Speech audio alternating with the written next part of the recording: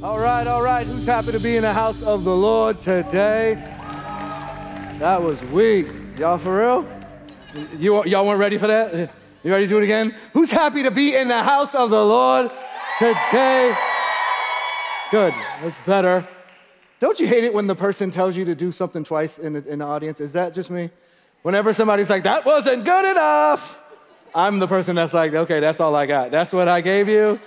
Like when they at a concert they're like, let's get louder. I'm like, for what? Like I'm I can hear. Like I'm is anybody like that? That's that's okay. You don't have to say it twice. I apologize. But anyway, we're so glad that you're here tonight. Uh, and I'm so excited about it being February uh, which usually means love month, right? Uh, and I want to talk a little bit about love. But again, because we got two of these, and I'm still getting used to that, right? Uh, we can split this up into two ways. And so the way we're going to do this is tonight, I- am going to talk about what is love, and, and mostly we're going to be talking about God's love and what that love does to us and, and how it shapes us and molds us. And then in two weeks, we're gonna talk about relational love, right? Sex, love, dating, relationships, all of that. We're gonna be dealing with that in a couple weeks. And I got some really dope news. I'm sorry, really good news for you guys. Really excited. Next, uh, in two weeks, when we have our next Friday Young Adult, Ramey's gonna be doing it with me. Yeah. Very excited. And so we're going to be doing a love thing together uh, and very much looking forward to. So that's in a couple weeks. We're going to talk about love. We're going to deal with love. Uh, but tonight, I want to define what is love. Y'all ready? Yeah. Amen. Well, if you have a Bible, let's go to Ephesians chapter 3. Let's get going. I got a lot to say, and uh, my time's already clicking. You know, they don't, they start my clock when I get up here. They don't let me do an intro, like say hi to people. I step on the stage, my first step up, they're like, that clock is going, hurry up, let's go. Get this sermon finished. Amen, amen. I understand that. Ephesians chapter 3 is where we're gonna start tonight. Ephesians chapter 3. And verse 16 is where we're at. Ephesians 3:16 it says, "I pray that out of his glorious riches he may strengthen you with power through his spirit in your inner being." Right? So God's spirit is going to strengthen us in our inner being. And I'm excited because last uh, a couple weeks ago we talked about the spirit. Amen. You remember that? Y'all forgot that already a couple weeks ago? The spirit, the move. Nah, y'all, it's gone. That's all right. I'll remind you in a second. I'm gonna have to. Okay, I see that. So, so that Christ may dwell in your hearts through faith. And I pray that you, being rooted and established in love, may have power together with all of the Lord's holy people to grasp how wide and long and high and deep is the love of Christ and to know this love that surpasses knowledge. Ah, that's good, Paul. That you may be filled to the measure of all of the fullness of God. Pray with me. Father God, I thank you and praise you for your word, which is a lamp unto our feet and it's a light into our pathway. And God, as we dive into your word tonight, Lord, I pray again that you give us light. You help us see. Uh, God, we've may have been at services like this and gone to church many times and heard many stories, many sermons on love. But I pray, God, tonight that you will truly uh, cause this word to get into us. Uh, that it not just be words spoken of years ago or even words spoken of by me on a stage, but God, uh, something that we can take and digest and live our lives on. I pray for strength in that. So, God, that we are rooted and established in love that we become those that you're speaking about here in Ephesians 3.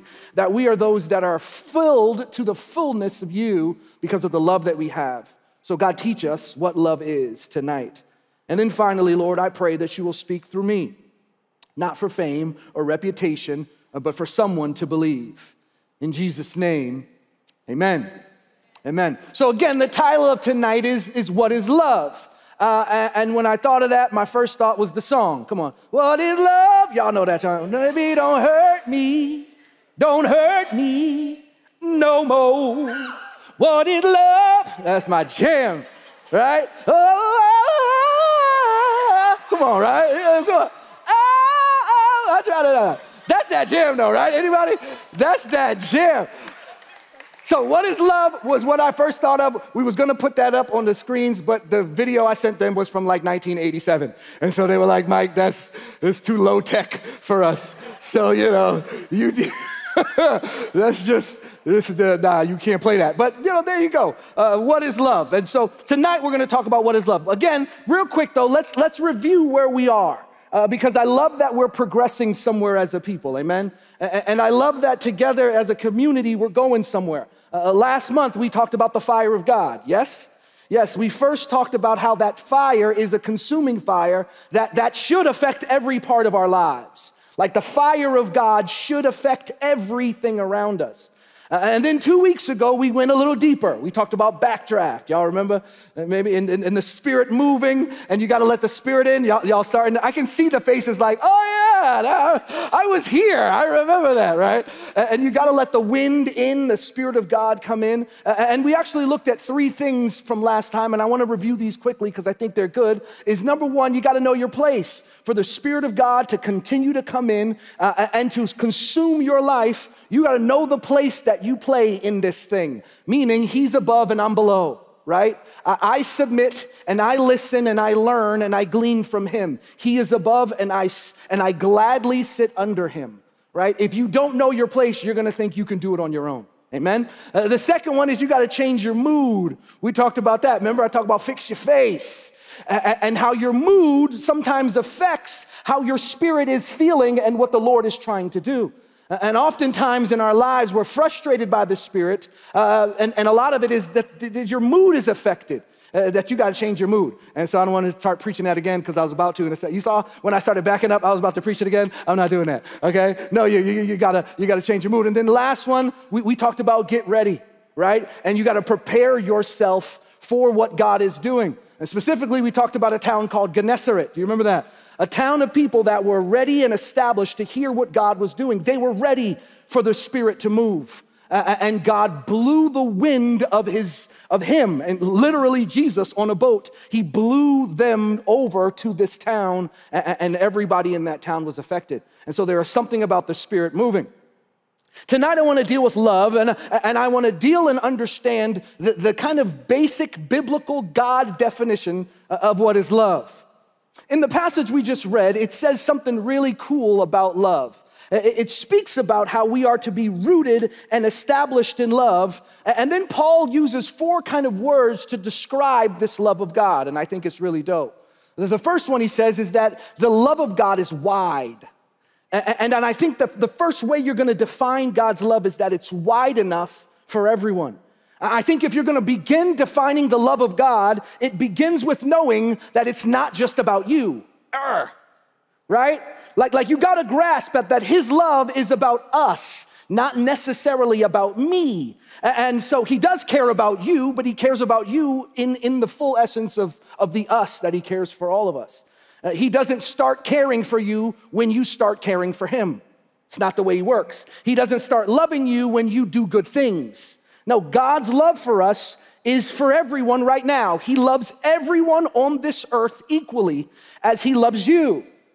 And I think that's important for us to grasp the love of God because as Christians, we, we, we tend to believe after some time that God really loves us a little different than them right? Like, like he loves me and he cares about me. And you know what? I, I'm with you, he does. But to grasp the fullness of his love, you got to realize that it's for everyone. It's wide enough for all. Then it says the, the love of God is, is long. I love that.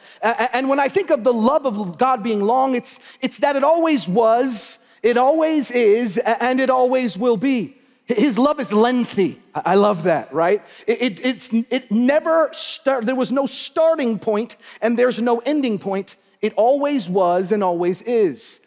I like to think of God in terms of time more like a circle than a line. And we've talked about that before, right? Where God's love is, is more circular. There's no beginning, there's no end. It's just everlasting and constant. And his love for us lasts that long. That means his love for you doesn't end when you make a mistake. And his love for you is not even dependent on your life for him. Your love for him is, is always there, it always will be, and it's strong enough to keep you even through the hard times. The third word that's used to describe, and I like this one, is it says his love is high, right? It's high. And what's dope about the love of God being high is that it's above me. It's, it's to be honored, it's to be respected, it's to be worshiped. That there is something about his love that puts me in my place. Amen? Like, like, like you're challenged and changed when you realize the love that He has for you. And His love for you puts you in a place where I say, Your love is so good that I have to worship it. I honor it. And so it's high above me. I think the worst thing that can happen in love is that love becomes too familiar.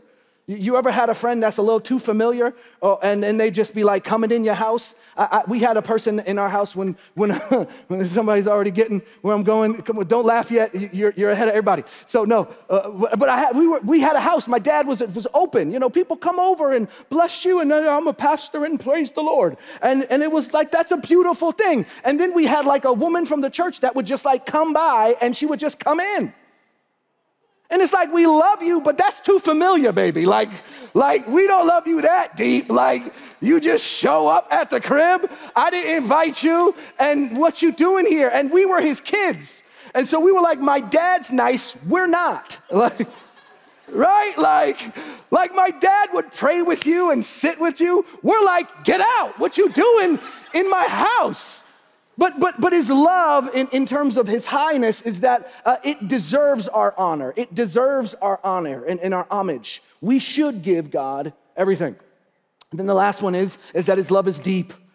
His love is deep. And what I love about the depth of his love is that it touches even my emotions. Let's, let's consider how high and mighty God is, and then how deep he is that he cares about how I feel. Arr that, that he's the creator of the universe, and a universe that's ever expanding, that even scientists cannot know the beginning part or where it ends. It's an everlasting, constant number of always increasing. God's size of his of who he is is so vast, yet he cares about you and your mind and what you're going through and how you feel. His love is deep. And so I love that Paul uses these four ways to really describe the love of God. Unfortunately, it's very difficult, however, in our world to then just define love. Uh, especially because we live in a world where people think that love is kind of whatever they feel. Like, like love is dictated by kind of what happens to you. And so you'll have somebody that says, uh, uh, love is whatever I feel it to be.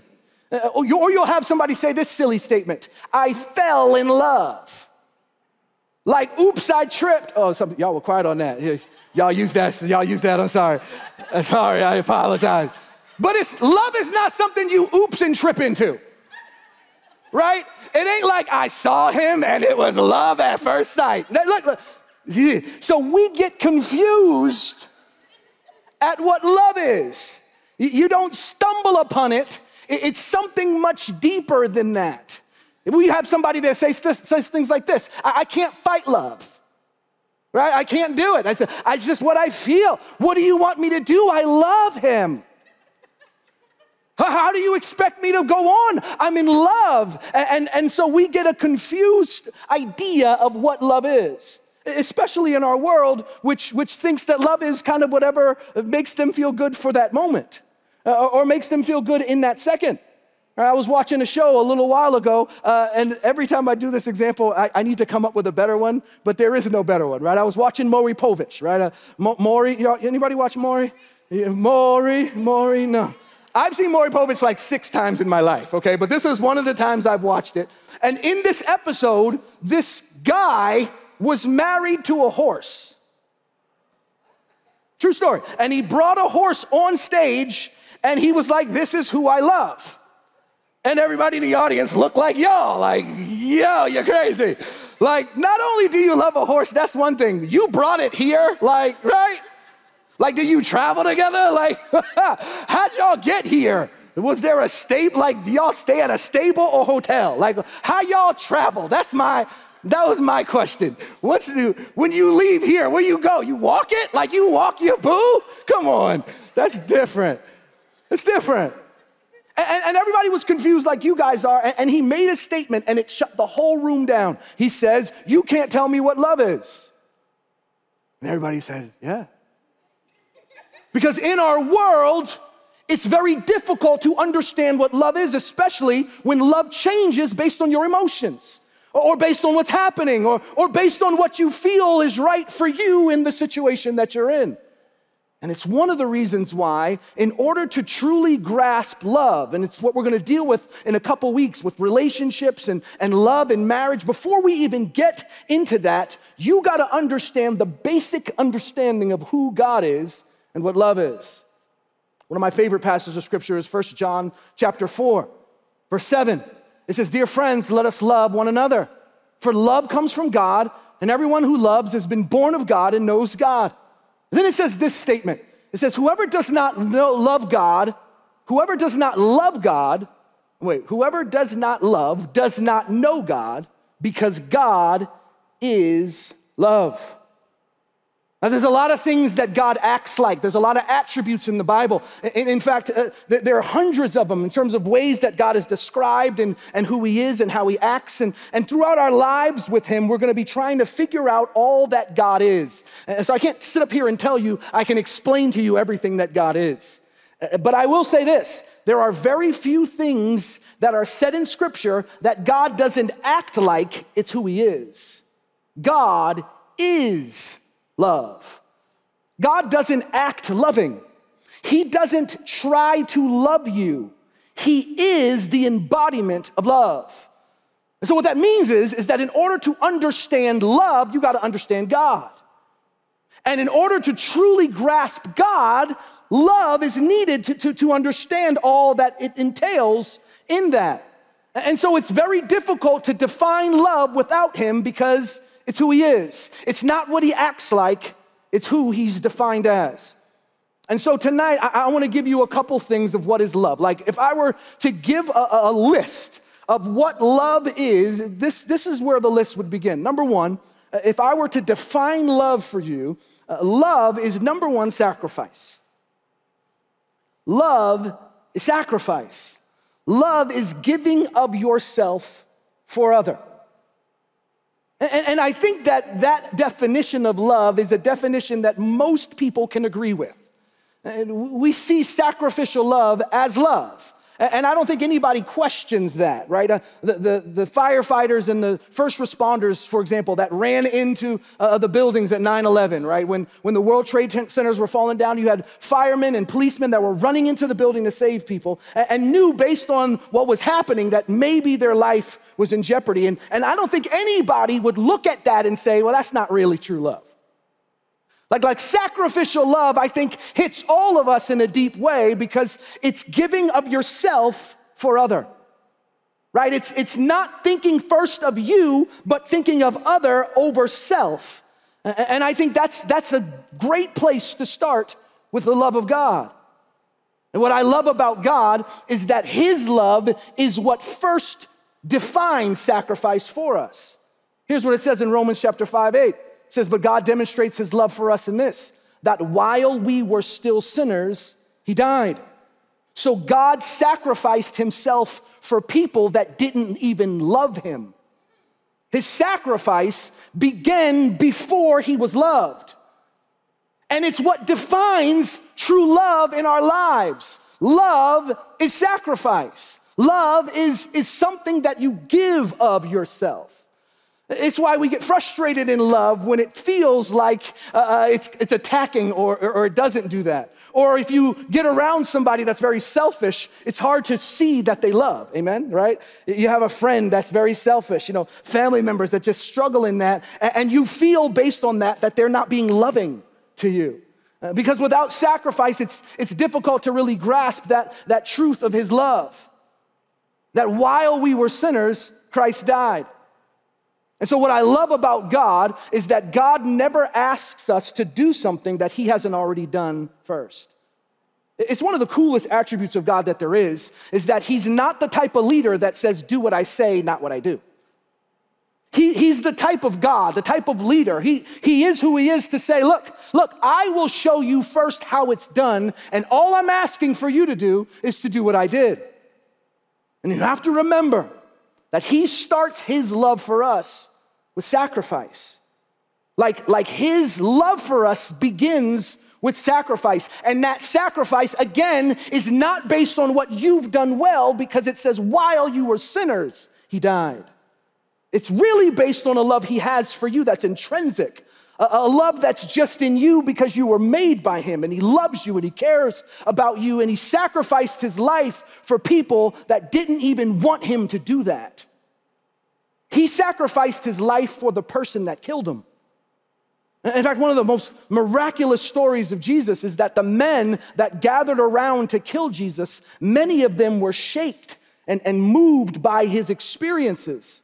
There's a story of the centurion that stabbed him in the side. That was the final piece, kind of, if you will, to, to, to the end of him, where he was pierced in his side. And, and as that blood trickled down, the story says that in church history, that man was never the same. That, that, that, that all the men that gathered around that were trying to kill him were affected by it because his sacrificial love does something. And so I would say to you, much like what he does, we must start our love for him with sacrifice. If we're struggling in love, it's usually because we're struggling in sacrifice. It's not costing you something. Uh, and so the love of God should take your time right? The love of God should take you away from being comfortable. And so, if any of the reasons why we walk away from the love of God is, is around that, it's, it's the wrong way because it should cost you something. It, it should feel sacrificial. It should feel like it's weighty and, and it means something. And I think that that's what makes his love real. And anybody who has ever been in a relationship, just because you have great feelings for him, doesn't mean that that relationship's gonna go great. I mean, don't you wish that if you just really like someone, then that's it? And you guys don't fight because you really like them. And you fall in love and now we're married. And so why are we fighting? We love each other. Oops, upside your head. That ain't how it works, right? And in the same way, God says, I sacrifice, you sacrifice, and that begins our process of love together. And then now let's work. And it should cost you something because it cost him something, right?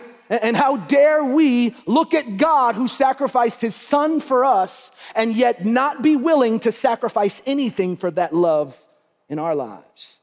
Love has to be sacrificial. The second thing that love is, and, and I think again, this one, uh, this one is, is, is a little, little interesting, right? I, I believe that love is truth. Love is truth. And the reason I say that is, is because I believe that most relationships, and if we were to be totally honest, most relationships end because of lack of truth. Can we agree with that? Right? A, a lack, of, a lack of truth in what's happening. Uh, uh, there's, there's either one or more parties that are struggling in the t- truth department. And I'll say both parties, right? Uh, remembering, of course, that when relationship ends, most of the times it's both people, not one. And so there is sometimes a lack of truth. And, I'm not saying that you're a liar, I'm just saying that sometimes we don't know the truth.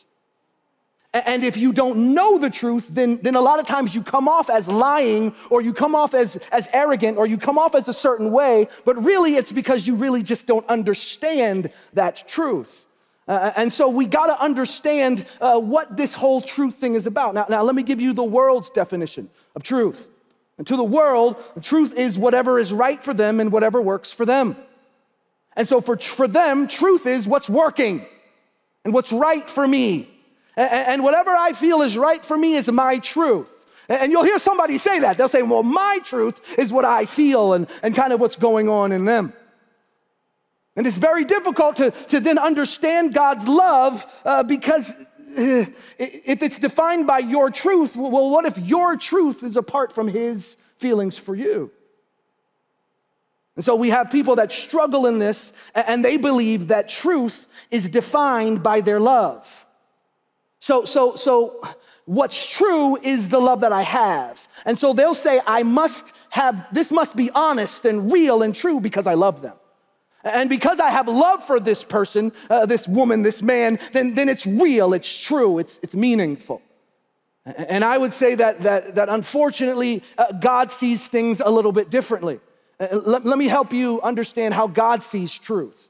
In fact, in God's definition of love, uh, he, he starts with this statement that's found in John 14, 5. He says, I am the way, and I am the truth, and I am the life. That, that in order, or I'm the light, that in order for me, in order for you to come to a place uh, of knowing Him, you got to realize that He is the truth, that, that He defines your truth. And so for, for us, we need to see that love is defined uh, again by truth. That, that the love of God is, is what helps me to define what's happening in the rest of me. And then realizing that God's love is the only true love that exists. And so, starting with His love, you can start to formulate what you should look for in love. It's one of the reasons why it's very difficult to give uh, relationship advice to people that, that, that are uh, Christian and dating somebody that's not. It's, it's a very difficult thing. Now, I've done it many, many times, and I'm not telling you it's impossible. I, I will tell you this it's very, very difficult. Amen. You can clap for that. Amen. It's very difficult. And it's because you're trying to define a truth that they might not see. And the life that you're living for God, the love that you have for Him, again, is not, is not based on feeling, it's based on Him. It's not based on how well it's going or, or how good you are, or how good He is, or how, uh, no, no, no. It's based on a, a situation in which God's in control and I'm under Him. And so we have to let the truth be that God defines love, not me. Your truth has to be that before I jump into love, I have to submit my love to God. And that's the truth. That, that, that's where we have to be. And that we have to see that, that the truth of God is what dictates our love life, not the other way around. That, that you fall in love and then you hope it's real and true. No, God says, first submit it to me and I will help you walk into the truth. Why? Because I am the truth. I'm the one who can see it. I'm the one who knows the way. and so, again, we got to submit that uh, to God. And then finally, number three, love is giving. Love is giving.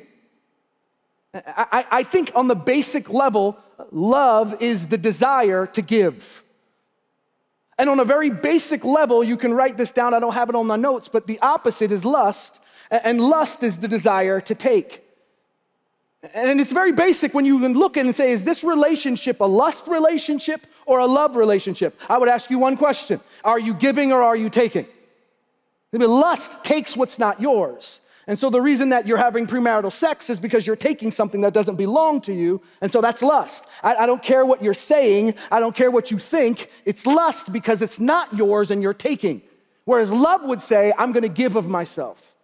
I'm going to sacrifice feelings. I'm going to sacrifice what I want right now. I, I know I want to go deeper. I know we want to take that next level, but I'm going to sacrifice that because love is a giving thing. I have to give of myself and not just expect in terms of there being love. Best passage that I, that I love for that, of course, is, and you know it well, is John 3 16. It says, For God so loved the world that he what? That he gave. And so it's out of his love for us that he gives. For God so loved the world that he gave his one and only son, meaning that if you have true love, then you should be giving. It should be something where you're looking to give, not looking to get or looking to receive. In fact, in, in Hebrew, the word for love is, is the word ahava. Everyone say ahava. It's a really cool word. It's, it's the Hebrew word for love, uh, uh, but, but, but it's split up into three ways. And, and, and, this is how it was originally taught to me, and this is really cool. Uh, they, we, the ancient Jews believed that, that when God created the world and, and he looked onto Adam, uh, that he did something. He was standing over a lifeless body of Adam. And what he did was that he breathed into him, right? The Bible says he breathed into his nostrils or he breathed into him the breath of life. Well, what happened in that moment is that I believe that God breathed, and, and that word he made was, was the ah. And so everybody say ah. And if actually, if you put your hand in front of your mouth and say, ah, you'll feel that there's air coming out, right? You're, you're, hitting that. It's this, it's this sound, right, that's hitting it. It's ah. And that was God. God breathed into Adam, God breathes into us, and he says, ah. Then the second part of it, and, and this is again, ah, God breathing out, is that then there is the ha, right? Uh, and the ha in Hebrew is more than just the word ha, it's, it's, it was a breath in. And so the belief is that God said ah into Adam, and Adam said, ah. You hear that? So instead of it saying aha, it was more like ah. Make sense? And so the second part is that God breathed first and then we breathed it in. And then the last word is va. And that word va is that love was given. And it's so cool. And so the idea is that God breathed, we breathed, and love came. In fact, I believe that what God breathed into us was love. It wasn't breath, it wasn't oxygen, it, was love. Love was breathed into them. So instead of saying ahava, really it's ahava. Because God did something and then we reacted to it, and all of that means that I'll give. In fact, in Hebrew, the literal word for ahava, it means I will give. And so the word for love is the same as the word for I will give, because to God, loving is this giving sacrifice that He does for you. It cost Him something, it should cost you something. Now, I'm gonna close with this, and, and, and I've done this before. Uh, it's been a while, and so most of the people in this room, you've probably never heard me do this, but, but I'm gonna do it again. Now, if you've heard me teach this, please don't give the answer away to the people that are around you. Don't be one of them, like, I know this, watch what, watch what he's about to do here. Don't tell the person if you know where we're going, uh, but, but I wanna, I wanna leave you with, with this statement, with this question. The question I have is why were we made? Why did God place us on this earth? What was the reason that he made you?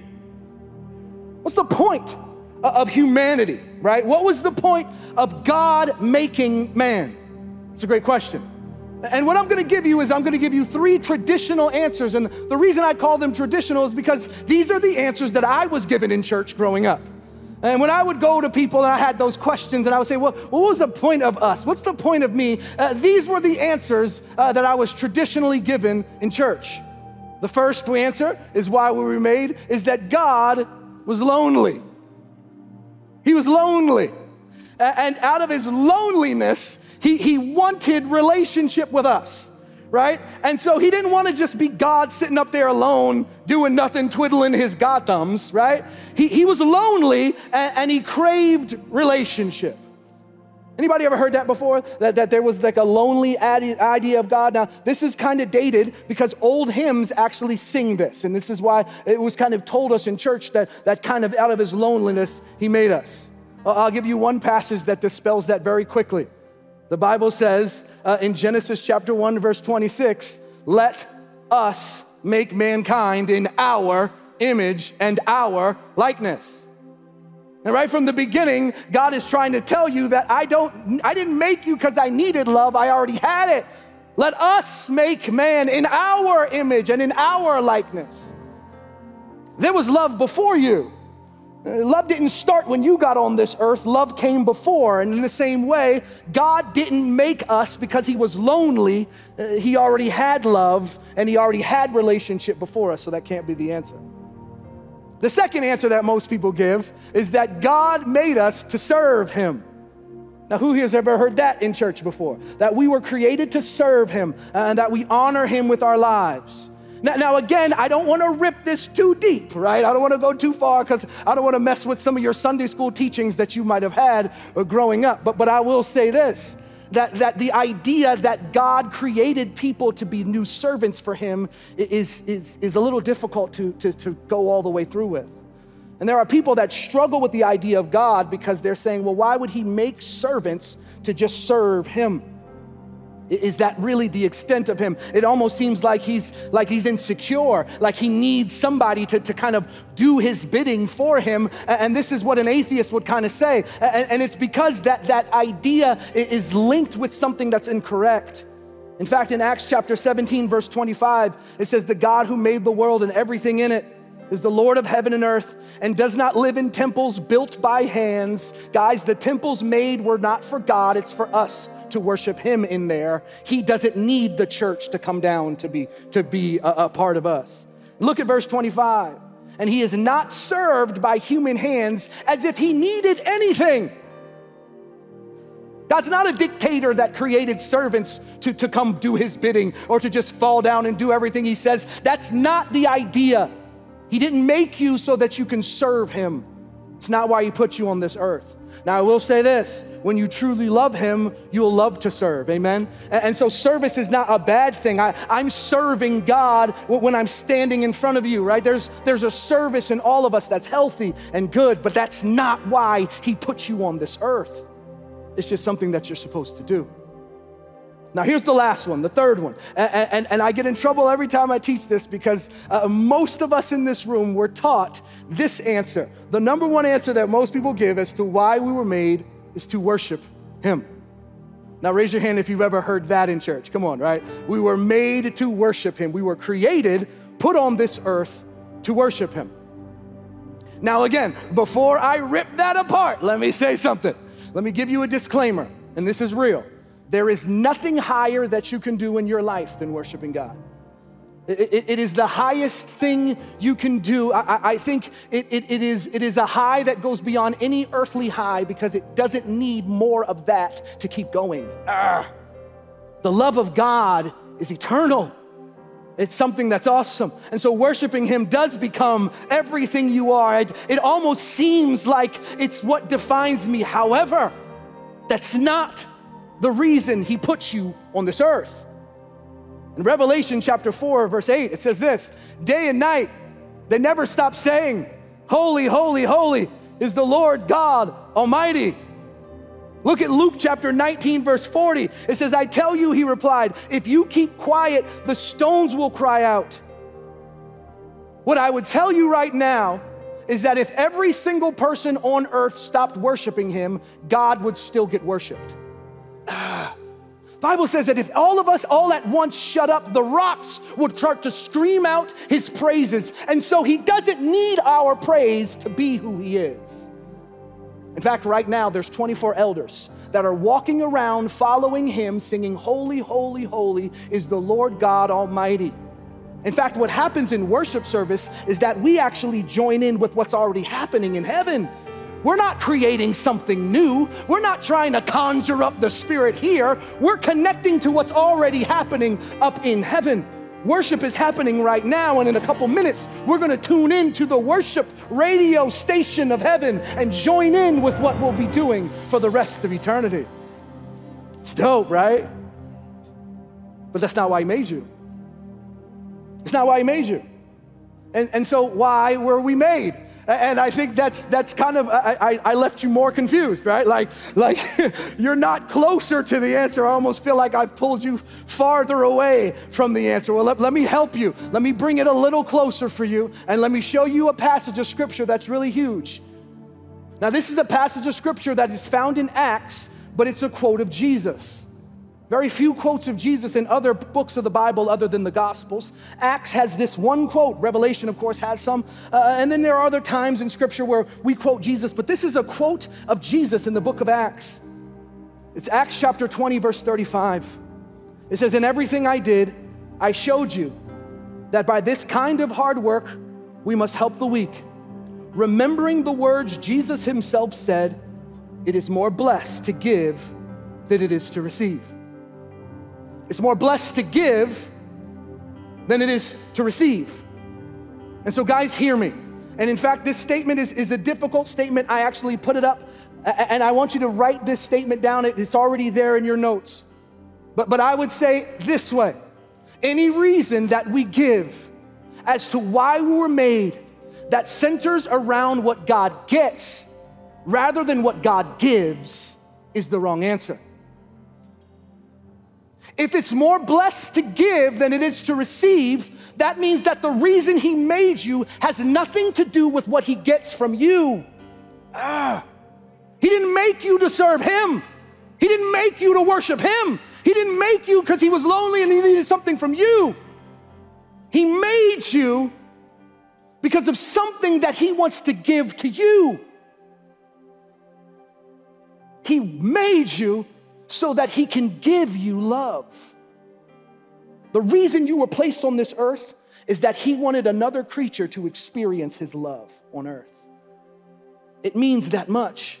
It, it, it, shapes and changes you that much because when you realize you're loved, it changes everything about you. And so you were placed on this earth not for what He gets from you, but what He wants to give to you. He loves you that deeply. C.S. Lewis put it this way It says, We were not made primarily that we may love God, though we were made for that too. And I don't want you to miss that. Loving God is dope and it's the greatest thing in the world, but that's not we were made. But that God may love us, that we may become objects in which divine love may rest well pleased. He made you to love you because he cares about you that much. Here's the last one. C.S. Lewis says, God loves us not because we are lovable, but because he is love. He doesn't love you because you deserve it. He loves you because that's who he is. And it's all he is, it's what he does. Not because he needs to receive, but because he delights to give. Tonight, I wanted to present to you the idea that in order to grasp any love in this world, you have to first grasp that you are loved. And when you know you're loved, it changes you. It shapes how you act, it shapes how you live, it shapes how you talk and, and how you walk, it, it shapes everything about you. I remember when I was in high school and, and I found out that a girl that I thought was cute liked me. Not gonna lie to y'all, it did something for me. Now, when I walk by that girl, I walked a little different. I used to just walk by like, hello, how you doing? Well, welcome to school, right? But when I found out she was feeling me, now I'm walking by like, hey girl, what's up? Hey, what up? How you doing? It's a little different. Now, even if the person that likes you is not all that cute, you still like it. Come on, somebody, right? You're still flattered when you find out somebody likes you because it's better to be liked by somebody ugly than not liked at all. Come on, right? Can we be real? If nobody thinks you're cute, it's better than somebody thinks you cute. But when you know you're loved, it changes how you talk around that person, how you are around that person. And in the same way, when you come to a realization of his love for you, it changes you. It changes how you live and how you act and how you move. When you realize that you're loved not for what you give, but for what He wants to give to you, it changes you. And so when you fully embrace the love of God that He has for you, I pray that it will radically change you. Bow your head, close your eyes. Let me pray for you. Father, I thank you and I praise you that your love for us is so wide, it reaches everyone. God, your love for us is, is so long. It always was, it always is, and it always will be. It's lengthy. God, that your love is high. It's above me. It's, it's rooted in, in this kingdom. It's rooted in something deep, but, but it's high and lofty. It's to be esteemed and worshiped, and it calls for my reverence. It causes for my holiness. It calls for my sacrifice. It's high above me, and I honor it. And then finally, Lord, I thank you that your love for me is deep. That God, you care about our individual needs. That, that you're not so high above it all that you're just mad that we don't or aren't being what you want us to be. No, your love for us chases us down, it fights for us. Your love goes out of its way to reveal who you want us to be. God, I pray that we were totally changed and shaped by the love that you have for us. You know, while I'm, I'm praying, I, am I'm, I'm just thinking that I, I do feel uh, like there are some people in this room that, that, that need that. So, what I want to do is, I, I want to do a prayer for, for anybody that feels that they've, they, they've been hurt by love love is something that's difficult. Love, love is hard. Maybe it's something that you've gone through. Maybe it's something that you're going through and you're in it now, but, but it's hard for you to see God's love, mostly because of, of human love. And if that's you, I just want to pray for you. I just want you to throw your hand up and pull it down. I want to pray for you. Just put it up, pull it down. That's all I want you to do. Just acknowledge I need prayer, Pastor Mike. That's me. I'm somebody that struggles in love. I'm somebody that is, it's, it's hard for me to grasp that. If that's you, cool. Just put your hand up, pull it down. Amen. Amen. Well, right now, all over this room, I just want to pray. And if, and if this is you, I just want you to repeat this prayer after me. Say, Father, In fact, why don't we all say it so the people who are, who are specific don't feel left out, don't feel kind of secluded. So let, let's all pray this together. Just say, Father, Father, I give you myself. And I pray, God, that you will teach me how to love you the way you love me. I, I want to be changed by your love. I don't want to be the same anymore. So remake me, Lord, just like you. In Jesus' name. Now, Father, I pray for every person under the sound of my voice that, that might struggle in love. God, we know that, that love's a difficult thing, especially when eh, in our lives we might have raised and, and struggled with understanding and, and the fullness of what love is. But God, I thank you that, that you have given us this, this perfect demonstration of love. And that while we were sinners, you died, you sacrificed yourself, you gave of yourself. And so I pray, God, that you will cause us all to be those that give of ourselves as well. Continue to shape us into what you want us to be. Not our will, but your will be done. In Jesus' name we pray. Amen. Amen. Love y'all.